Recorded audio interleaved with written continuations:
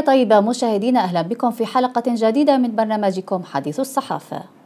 والبداية مع افتتاحية صحيفة الجارديان التي جاءت بعنوان التوتر بين الاتحاد الأوروبي وتركيا يجب أن يبقى تحت السيطرة.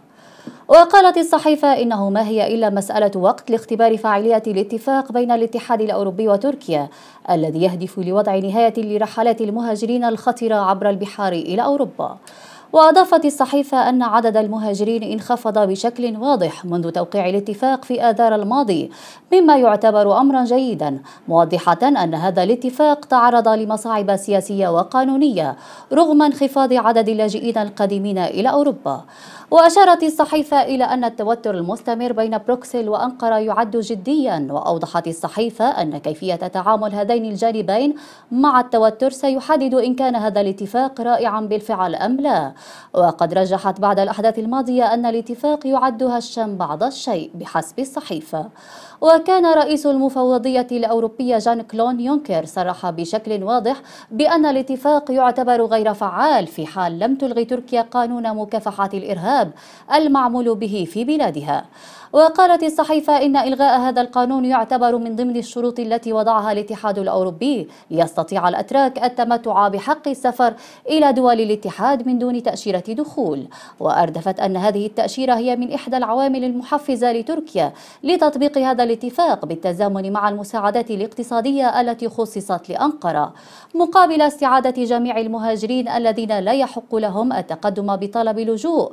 وكذلك سوريين العالقين على الحدود اليونانية الدولية وختمت بالقول إنه يبدو من الصعب على تركيا تطبيق هذا الاتفاق قبل نهاية شهر حزيران المقبل.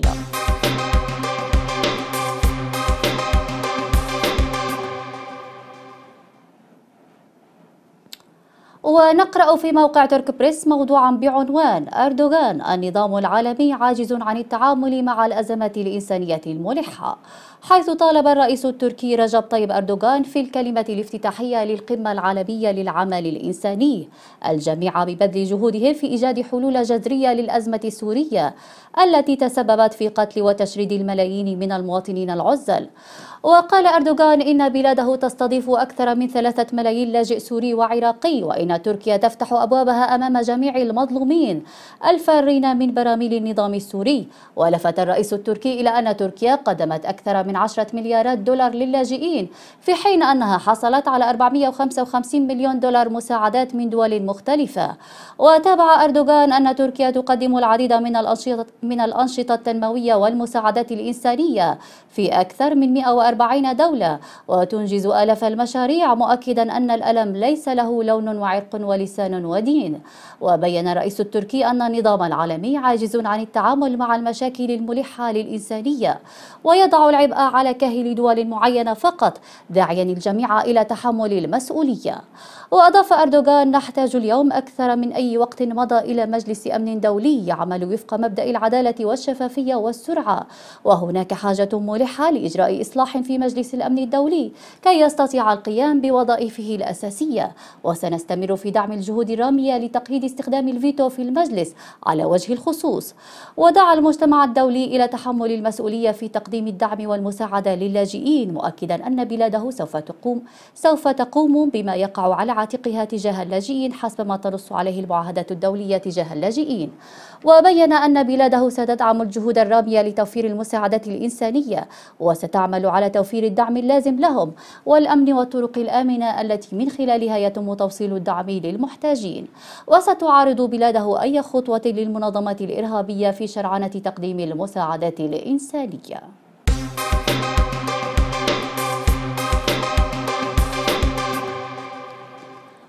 ونطالع في صحيفة مليات التركية مقالا لسامي كوهين بعنوان حسب رأيه اللاجئون باقون.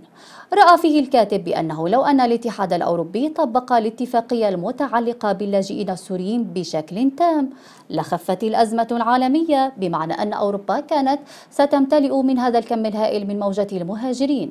أما بالنسبة لتركيا فإنها ستستمر باحتضان اللاجئين السوريين لأنهم لن يرغبوا بالعودة إلى بلادهم. كما أن الشارع التركي ومنذ أن تم توقيع هذه الاتفاقية مع الاتحاد الأوروبي علق أغلق أماله على المادة المتعلقة بمسألة التأشيرة وهذا الأمر بلا شك يعد مكسبا مهما للأتراك الذين عانوا من مشكلة التأشيرة. وبالمقابل فإنه يجب على تركيا أخذ مسألة عبء اللاجئين السوريين على محمل الجد. ويتابع الكاتب إن قسما كبيرا من المليونين والسبعمائة ألف سوري سوف يبقون مجددا في تركيا. إلى متى هنا تكمن المشكلة؟ حاليا من المستحيل الحديث عن نسب عن نسب واضحة لكن واضح للجميع أن قسما كبيرا من اللاجئين السوريين يرغبون بالبقاء في تركيا المضيافة البارحة وعندما كنا نستمع لمحاضرة لبروفيسور كمال كريشتي الأستاذ في جامعة بوغازيتشي ومدير المشروع التركي في معهد بروكينغز في واشنطن جاشت مشاعرنا فقد كان تحليل البروفيسور لمشكلة اللاجئين السوريين بوصفهم بالمقيمين وليس بالضيوف وبأن على تركيا تطوير سياسات اندماجهم في المجتمع. لقد عبر البروفيسور عن أن عدم مشاركة تحمل عبء اللاجئين من قبل المجتمع الدولي يخلق مشاكل اقتصادية وأمنية واجتماعية وثقافية في تركيا. لكن في المقابل يساهم وجود السوريين في نمو الاقتصاد التركي. باختصار يرى البروفيسور بقاء اللاجئين السوريين واستنادا على ذلك فإنه لا حل إلا باندماجهم في المجتمع التركي. ومن أجل ذلك من الضروري إصدار القرارات والتعديلات التي تسرع من هذا الاندماج.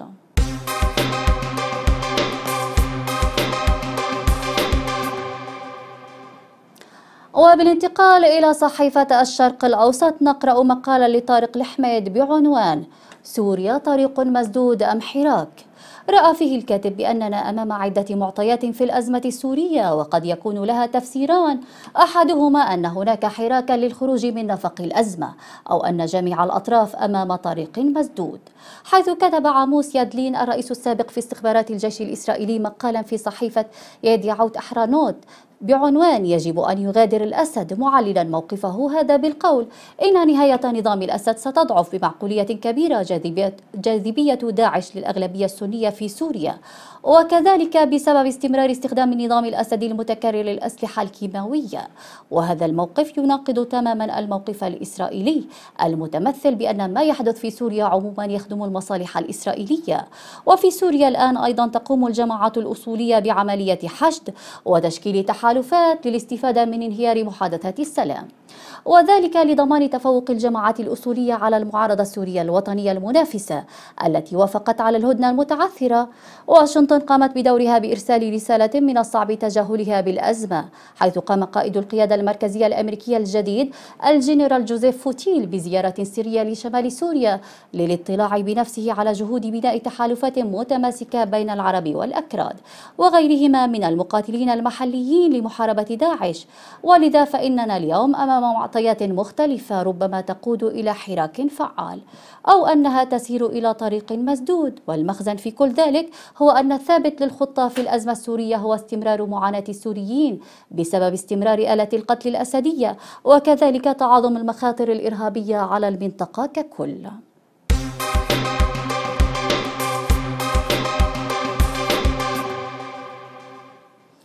وختام حلقة اليوم مع شبكة شام ومقال لزين مصطفى بعنوان.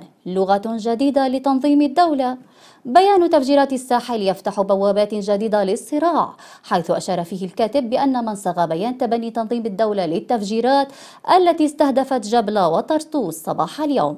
أنه كان على عجلة من أمره فهناك شيء ما قد حدث في بنية تنظيم الدولة الفكرية والأيديولوجية العامة والاستراتيجية المركزية العنيدة التي تسير عليها. فتغير المصطلحات بهذا الكم يشي بوجود خط جديد ظهر للعلن ألا وهو التراجع عن الدولة الإسلامية والعودة إلى المكافحين في سبيل الوصول إليها في المرحلة القادمة.